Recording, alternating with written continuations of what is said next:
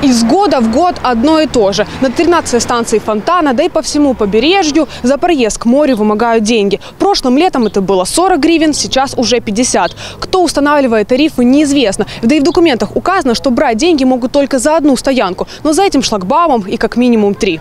Вместе с активистами дорожного контроля мы подъехали к шлагбауму на 13-й станции Большого Фонтана. Как обычные отдыхающие начали интересоваться тарифами и законностью поборов.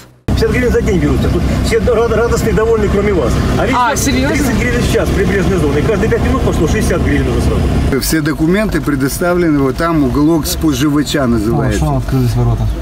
Э, Там все написано, что кто директор, э, на каком Кто директор? все с печатью. Кто директор? А? Кто директор? Ой, Ок- Оксана, м, Мужчины, называющие себя парковщиками, заблокировали въезд и отказались пропускать бесплатно. На каком основании – неизвестно. Вместо официального удостоверения – самодельный бейджик. Где ваш бейджик, что вы являетесь парковщиком на этом данном месте? Есть у вас показать бейджик? А где он? Покажите.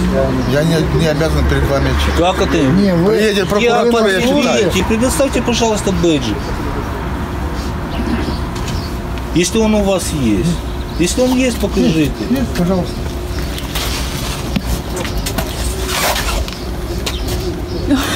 Нет, это не бейдж. Кассир Евгений. Это Вы смотрите, кассир, такой бейдж бейджики, кассира. там ни печати, ни фотографии ваши.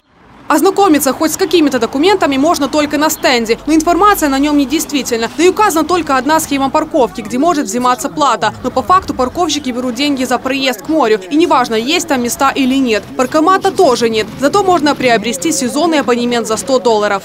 Любой предприниматель обязан осуществлять хозяйственную деятельность только на основании закона, то есть он должен был узаконить данные схемы и взимать плату только за те места, которые ему город предоставил в пользование. Мы, проехав здесь, мы увидели минимум три участка дороги, где возможно парковаться. Более того, есть территория для, инвал- для въезда с людей с инвалидностью, где вообще въезд запрещен. То есть человек там где-то оплатил деньги куда-то, он еще не знает, куда он попадет. А ему тут, может быть, надо дальше, а дальше запрещено, потому что здесь муниципальная варта. Активисты предполагают, что незаконный шлагбаум принадлежит депутату горсовета, который на месте парковки может построить новую высотку.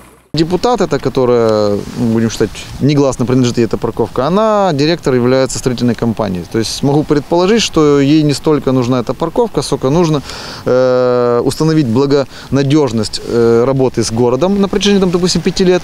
После этого заключить договор, ну, допустим, на долгосрочно, там, 50 лет, к примеру, либо вообще выкупить землю и застроить ее домами. То есть побережная территория, понимаете, здесь можно очень хорошо заработать.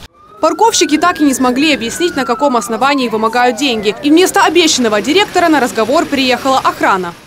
Не я ж вас беру деньги, правильно? Я просто приехал за порядком чтобы тут не было ни драк, никаких ничего. Мы взяли с собой талончик, который выдают при оплате и поинтересовались у юристов, имеет ли он законную силу.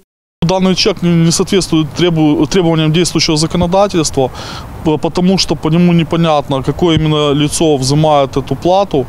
Э, Не указан идентификационный номер юридического или физического лица, осуществляющего деятельность по парковке транспортного средства.